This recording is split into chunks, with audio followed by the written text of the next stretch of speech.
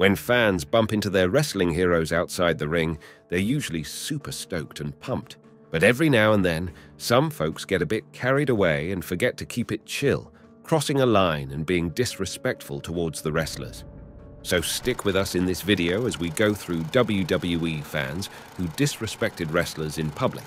Getting right into it with a moment from 2019 when a social media influencer took pictures of John Cena without his permission.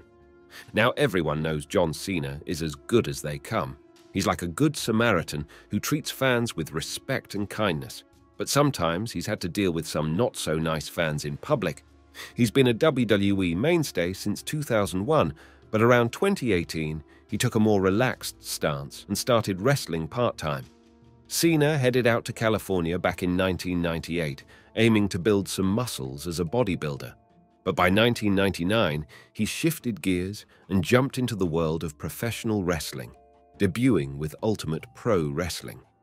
Then, in 2001, he signed a deal with the World Wrestling Federation, which later became WWE in 2002. With a whopping 16 World Championship wins under his name, He's held the WWE Championship a record breaking 13 times and won the World Heavyweight Championship three times during its 2002 2013 era. But there's more. He's also rocked the WWE United States Championship five times, claimed the WWE Tag Team Championship and the World Tag Team Championship twice each, won in the Royal Rumble twice, and scored a Money in the Bank win once.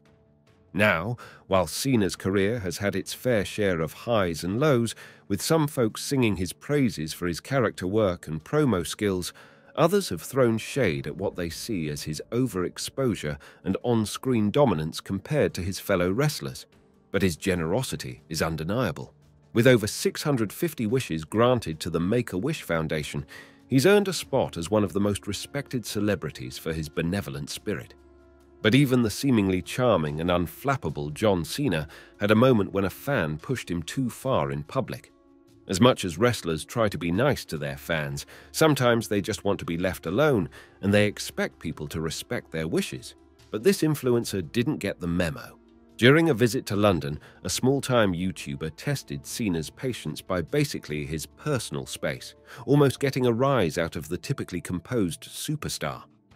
In 2019, a social media influencer known as Mo Dean happened to cross paths with John Cena in a store, and Mo Dean quickly whipped out his phone to film Cena without his permission. At first, Cena brushed off the encounter without reacting.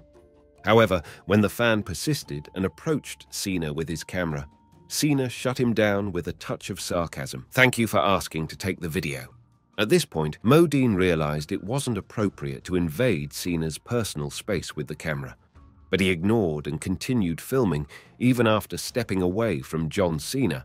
Even when Cena got ready to leave the store, Modine stopped him again with a weird statement. Take care, bro. I've got some advice for you, said the YouTuber. If it was any other wrestler than John Cena, Modine would have probably gotten an earful, but Cena stayed cool as usual. He flipped the script and told Mo Dean to show some respect. Despite all the crazy stuff Dean said, this one took the cake. He even had the nerve to offer Cena help. Contrary to what Dean thought, his videos got roasted by viewers, and let's face it, a lot of people thought Dean needed to get an attitude adjustment. And that's not the only time a fan seemed to need attitude adjustment. Although Chris Jericho might have gone too far when these rude fans heckled him. The Demo God has been in the pro wrestling scene for over 30 years now. He's been everywhere, working his magic in all the big leagues and snagging titles left and right.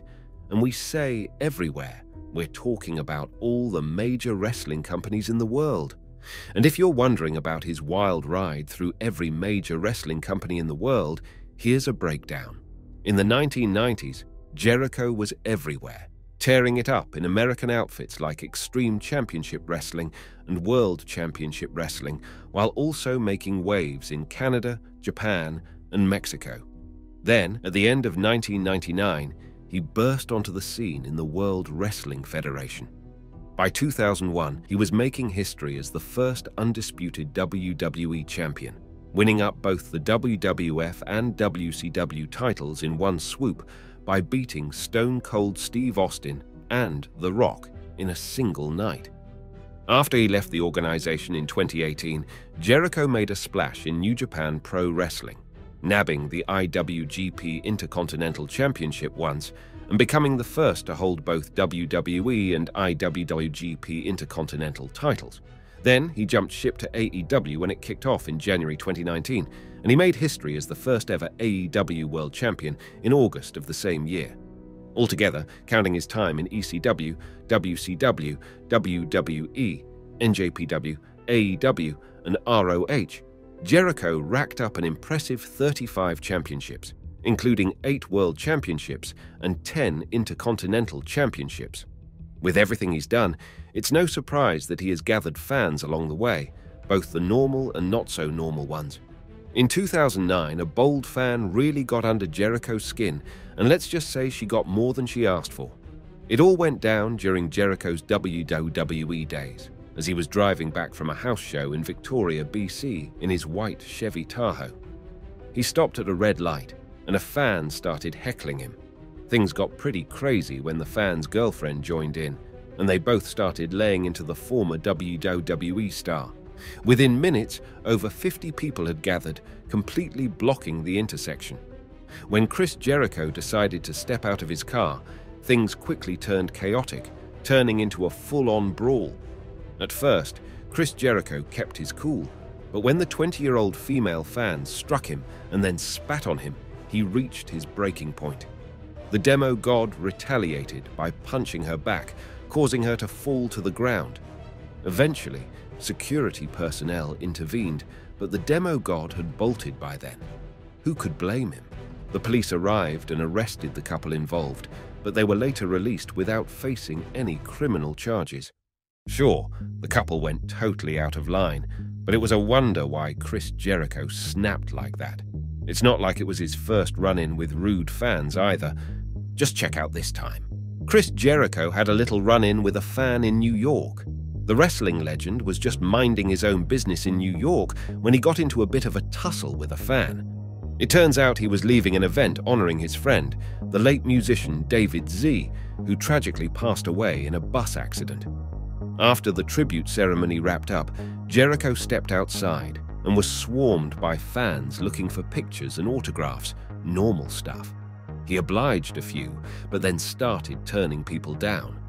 One fan took offense, and things escalated into a full-blown swearing match with F-bombs flying left and right.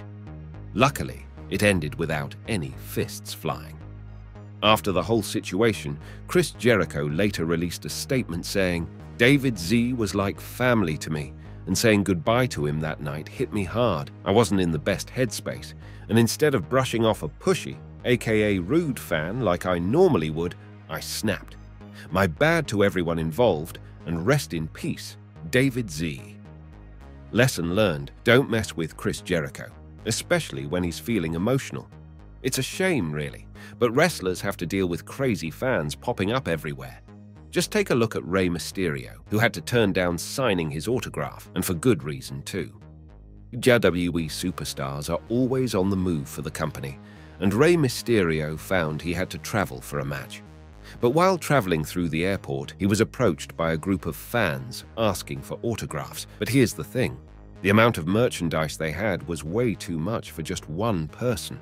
It was pretty clear these fans were looking to profit off Mysterio's autographs by selling them as merchandise.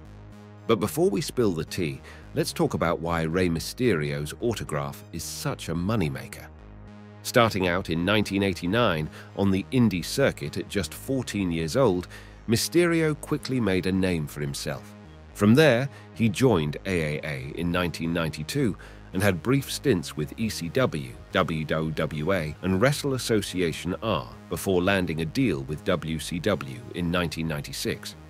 After WCW folded in 2001, Mysterio continued his wrestling journey competing for various promotions such as Consejo Mundial de Lucha Libre, the World Wrestling Council, and the X-Wrestling Federation. However, his big break came when he joined WWE in 2002. When he arrived, he reintroduced his mask during matches. Mysterio remained with WWE until 2015, during which time he captured the WWE Cruiserweight title three times. After his whole stint ended in 2015, Mysterio took a wrestling tour to places like NJPW, Lucha Underground, and AAA. But guess who made a grand return to WWE in 2018? Yep, Mysterio, and this time he brought his son Dominic. With a career spanning multiple promotions and decades, you can see Mysterio's autograph holds serious value to fans and collectors alike. People would pay big bucks for his autograph. Even though some wrestlers aren't too keen on autograph sales, there are still folks out there making a killing off Mysterio's signature, and that's just what this guy wanted to do. Rey Mysterio was swarmed by fans all clamoring for autographs while he was clearly on his way to a WWE show. Hey, they don't let us do stuff like this anymore. I'm signing for you guys to make money. Let the fans come up and ask for an autograph, Mysterio explained. Thankfully, one of the men claimed to be a fan, saying he'd been a huge supporter since he was a kid, so Mysterio agreed to sign one for him. Sure, everything turned out cool, but this next moment could have been a real mess. This time, it wasn't some wild fan acting up. It was a host causing chaos right there on live TV. Grayson Waller and LA Knight were down in Australia to promote the Elimination Chamber gig. But then things got really spicy with the Sunrise Morning crew live on air. Before hitting the big leagues, Waller's journey was quite the ride. He grappled it out in the indie circuit as Matty Wahlberg before WWE came calling. His WWE debut? On June 11, 2021, he lit up 205 Live and took down Sunil Singh. Since stepping onto the main stage, Grayson Waller's been stealing the show, known for ruffling feathers and getting under his opponent's skin. He's cocky and arrogant, but that's just part of what makes him so interesting. That's why he seemed like the perfect candidate for the Elimination Chamber promo. However, things almost went south. During their promo on Sunrise TV, things got pretty interesting. Natalie Barr, one of the co-hosts, asked LA Knight if he could perform his signature move. LA Knight responded by saying that they just showed it on the screen and doing it again here wouldn't be good for anyone. Then, Matt Shirvington, the other co-host, mentioned that the floor manager was leaving that week, so he volunteered to be on the receiving end of the move. LA Knight refused and offered Waller to take on the challenge by asking him. Waller didn't hold back one bit. He warned the floor manager, who was already puffing up, that if he came any closer, they'd need the cops because Waller wasn't about to fake anything. He even told him, I'm going straight for your jaw. The floor manager continued to goad Waller, but the wrestler didn't find this funny. Waller stood up and called out the floor manager for disrespecting him, prompting the host to step in and defuse the situation. You want to act like this ain't real? Don't try to act tough, Waller fired back as the floor manager was pushed away. He even threatened to knock out the host if necessary. Some might say Waller went a bit overboard, but hey, you poke the bear, you get the claws, right? Now, Sasha Banks is usually cool as a cucumber, but even she has her limits, especially when fans push it too far. When Sasha Banks left the organization in 2022, a lot of fans were curious why she left, and some couldn't keep their curiosity to themselves. Even though Sasha started off her wrestling journey back in 2010 on the indie scene, she didn't join the WWE until 2012. She left in 2022, but a whole lot happened in between. When she made her debut in WWE at NXT, she won the NXT Women's Championship. But it was her showdown with Bayley at NXT TakeOver, Respect in October 2015, that really made history. It was the first ever women's match to headline a TakeOver event, the inaugural Iron Woman match in WWE history, and at 30 minutes long, it held the record for the longest women's match in WWE history at the time. Fast forward to 2020, she added another notch to her belt by winning the SmackDown Women's Championship at the Hell in a Cell pay-per-view, officially becoming a Women's Grand Slam champion and Triple Crown champion. Plus, she scored Wrestler of the Year by Sports Illustrated that same year. And let's not forget her historic moment at WrestleMania 37, where she and Bianca Belair made history as the first two black women to headline the event. So, after some creative drama in 2022, Sasha said goodbye to WWE and ended up making her debut in NJPW Stardom at Wrestle Kingdom 17 as Mercedes Moné. After she left the WWE, Sasha had a run in with a fan who didn't quite grasp the concept of boundaries. Now, usually, Sasha's all about spreading love and interacting with her fans, and let's be real, her good looks only add to the charm. But she's not afraid to clap back if someone oversteps. During a meet and greet, a fan had the audacity to ask Sasha about her WWE departure based on what they read online. Sasha wasn't having any of it and quickly shut it down. She fired back, So that's what you read. You weren't there, so no. What's the real reason? Why would I tell you? You weren't at my interview. You're not reading my book. She made it clear that intrusive questions don't fly with her. It might seem tough, but hey, boundaries are boundaries. But a bunch of fans just don't get it. Like this one fan tried to get an autograph from Sasha Banks at the airport. Why is this such a big deal? Well, Sasha really doesn't like it when people bug her at the airport. She thinks it's super weird when fans know her travel plans or try to talk to her while she's just trying to catch a flight. According to her, growing up as a wrestling fan, she always dreamed of meeting her favorite wrestlers. But it never crossed her mind to stalk them at airports or hotels waiting for hours just to catch a glimpse. That, to her, crosses the line into stalking territory. She's cool with fans approaching her at arenas because she's already announced her whereabouts, but being ambushed at 4 a.m. in an airport by someone trying to profit off her autograph, not cool in her book. Back in 2017, a fan caught Sasha off guard at the airport, showing up in the middle of the night. She wasn't exactly thrilled, but hey, she still took the pic even if she didn't exactly flash a smile. Plus, she walked off immediately after taking the picture. Speaking of airport drama, we've got to mention the time a fan yelled at CM Punk in the airport. CM Punk went from wrestling underdog to top tier celeb in record time. And ever since he hit the big leagues, he's been popping up everywhere TV, red carpets, even Comic Cons. And when it comes to fans, Punk is really genuine and even takes time for everyone especially the young ones. But some fans just don't appreciate this, and CM Punk had a little airport altercation in St. Louis. Some not so friendly fan wanted an autograph, got turned down, and then another fan started causing a ruckus by yelling at Punk. Things got heated, and Punk ended up throwing the autograph book in the trash. Airport security had to get involved, and by then, Punk was seriously ticked off. He didn't waste any time addressing it on Twitter, though. His verdict? Unacceptable behavior. And he even retweeted a fan's message, apologizing to everyone for one person ruining the vibe. Up next, Roman Reigns and Seth Rollins are two of the biggest talents in WWE, so they're used to fan love. However, in 2018, something happened that sparked a whole Twitter debate. These two decided to hit up a supermarket for some late night shopping and ran into some fans. Seth Rollins refused to take some pictures with kid fans, while Roman straight up told them that he was not an animal in a cage and to stop taking pictures. Now, it didn't end here. A Twitter user named Veronica spilled the tea, claiming her dad bumped into Roman and Seth as well, and he said they were. But instead of her post blowing up as she hoped, it sparked a full on wrestling fan debate. Some folks came to Veronica's defense, arguing that wrestlers have insanely busy schedules, traveling the globe, doing media stuff, and staying ripped, all while trying to have a life. They reckon if you want to hang with a superstar, hit up a meet and greet, don't crash their grocery run. And if a wrestler says no to a selfie, respect it. Don't go bashing them online. Preach. And Rollins once said in an interview, I'm not mean to fans because I'm a bad guy. I'm mean to them because they're rude. Similarly, this next fan didn't seem to realize he had pushed Randy Orton's boundaries. It's pretty common to spot wrestlers hitting the gym.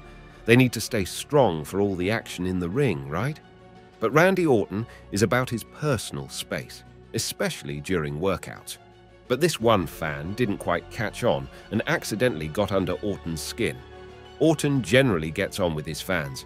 This dude comes from a family of wrestling legends, with his grandfather Bob Orton, father Bob Orton Jr., and Uncle Barry Orton all wrestlers, so he's had his fair share of fan encounters. However, he was gearing up for a WWE SmackDown event at Jonesboro, Arkansas, when a fan, Anthony Martin, approached him for a pic, but Orton politely declined. He told the guy he couldn't hear due to his headphones and gave him a thumbs up. All good, right? Well, not quite. Martin went ahead and took a picture anyway, and that's when things got heated. Orton stormed over, asking, What the are you doing? I said, No, pictures. Are you stupid? Martin was pretty shocked at the outburst and offered to delete the picture.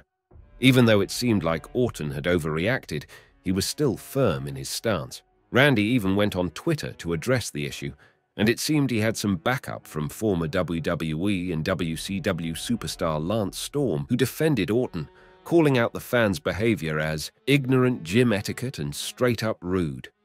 Looks like even wrestling legends need their space, huh? Which of these fans do you find the most disrespectful? Let us know your thoughts in the comment section, and before you leave, don't forget to like this video and subscribe to Ring Rivals so you don't miss the next ones.